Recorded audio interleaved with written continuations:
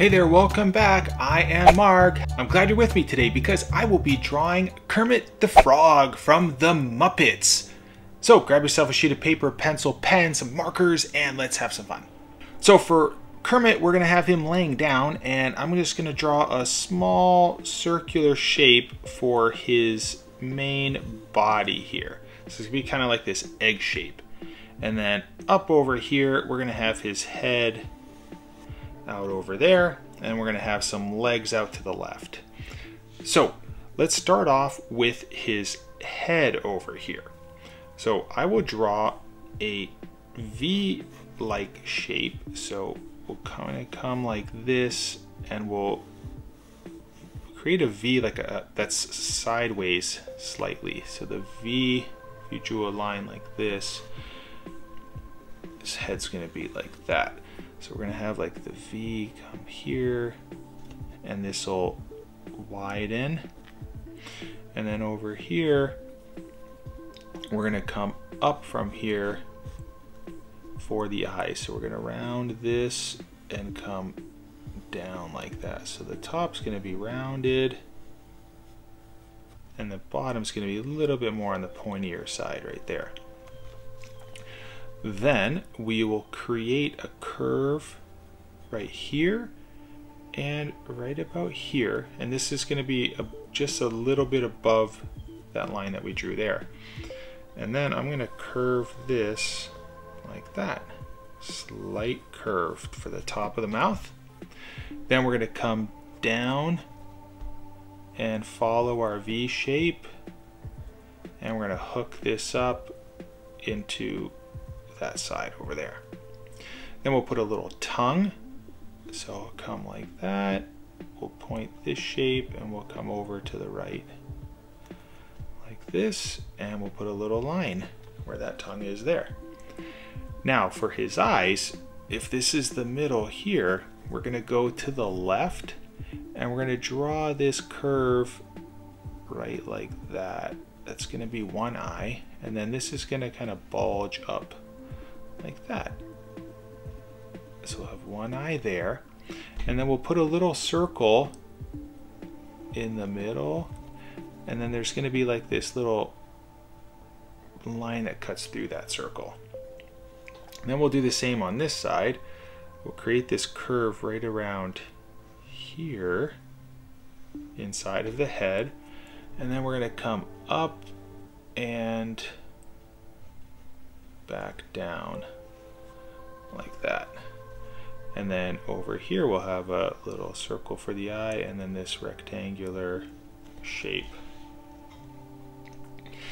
Now let's do the little neck shape that he has. So we're gonna draw these little pointy shapes that kind of come off of his neck like this. And kind of curve this one down. And you can see these don't come and touch the face at all. They're just shy of the face. And we'll do one here, and then we'll do another one right here, like that. And then right from here, and don't worry about where we drew this circular shape here. We don't have to line up exactly with that. What I'm going to do is I'm going to come from here, and I'm going to curve this, and we're going to round this like that right there. You can see I'm off quite a bit, but that's okay.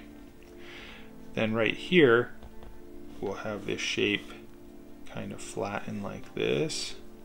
And this one's gonna come up over there.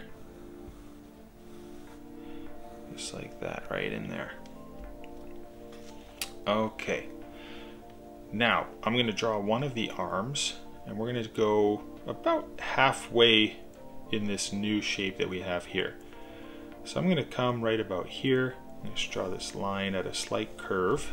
It's going to extend past my body line.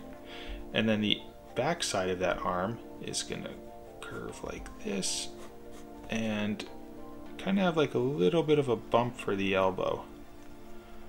All right, and then that arm's gonna go and come towards the right side of our page. So we're to come like this and come up right about here. And then I'm just gonna stop. I'm gonna draw the other side here. We're gonna kind of come down. We're just gonna stop right here for a second. Now he's kind of leaning on his hand. His palm of his hand is, his head's in his palm of his hand. So we'll draw the wrist part here, the palm part, and we'll bend that and we'll come down like this.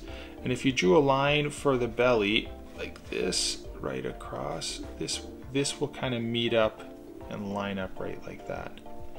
Okay. Then we'll draw the lower part of the arm that's coming right about here. And this will come down and then that elbow is going to come up and then it's going to come into the wrist like this. So we want the wrist to be narrower than this shape right here. And then if we imagine this rounding, this will come and just be right like that. And you can make your little tweaks just like this.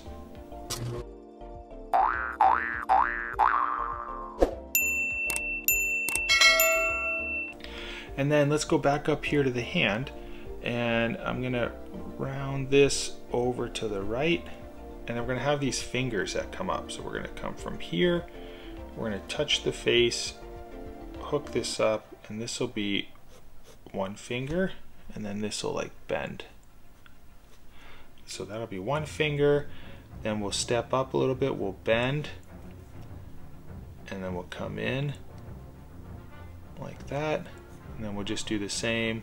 We'll do another one that's a little bit shorter and then a last one like this. You just see a little bit of that last one.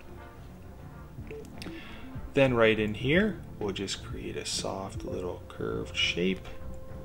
You can probably put another one in there. Alright so we have his head resting in his hand. Now let's finish off this arm and this hand. Now this hand is going to be curling over his his arm right here, his bicep area. So as we came down right here to his wrist, his wrist is gonna bend downward a little bit and then it's gonna kind of come up and go like this. Now, I think this might be a little bit long for his fingers because I want his fingers to kind of dip into his his hand right here. So I'm just gonna have to make a slight edit and I'm gonna come from these fingers here and I'll probably curve this right about there instead. So I'll erase that line there. So this will be the bottom of my palm right here. And this will come up. And then over here, this will come from his wrist. This will come up like this and then we'll dive this down like that and we'll just put a few little fingers that are kind of showing through like that. So now that we have his wrist, we can redraw that line right there. Alrighty. Now, we might want to thicken up this back arm a little bit if it's looking a little bit too thin. So you can go and tweak that. But if yours all looks good, let's go back to the leg sections. So we have this that we didn't completely continue that line. If you did, it's okay. But right about here, we're just gonna curve this line just a little bit. And then we're going to bend that where the knee is gonna be.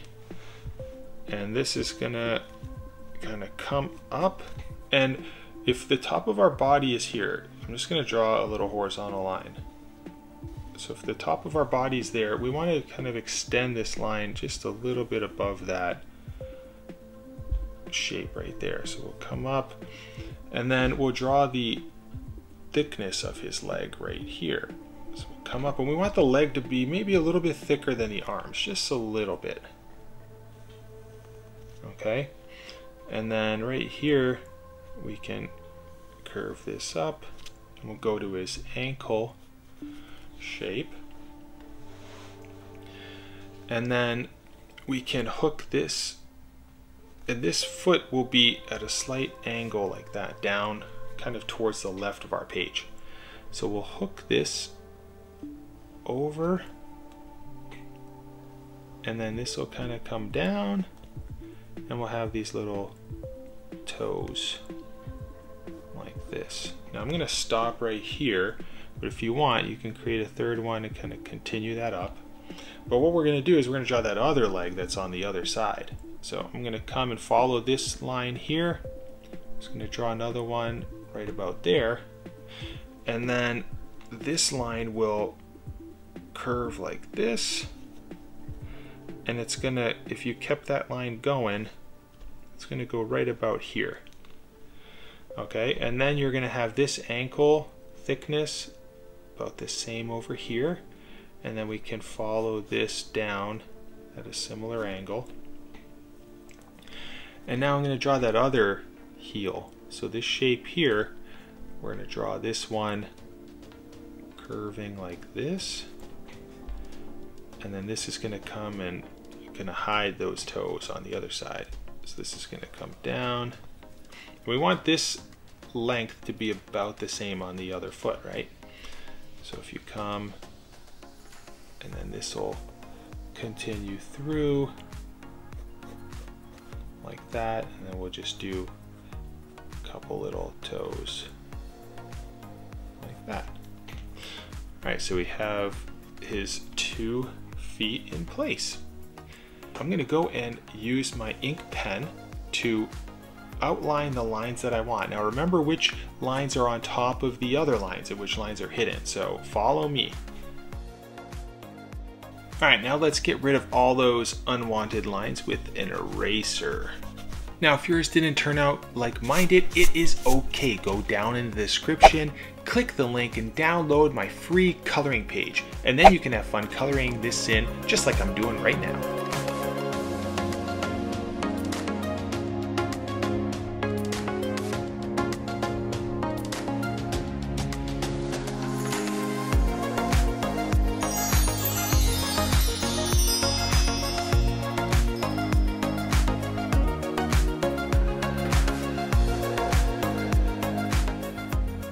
Well, I hope you enjoyed my video on Kermit the Frog. Please like the video and subscribe to my channel. I do videos every weekday and I don't want you to miss any one of them. Until the next one, I'll see you then. Have a good one.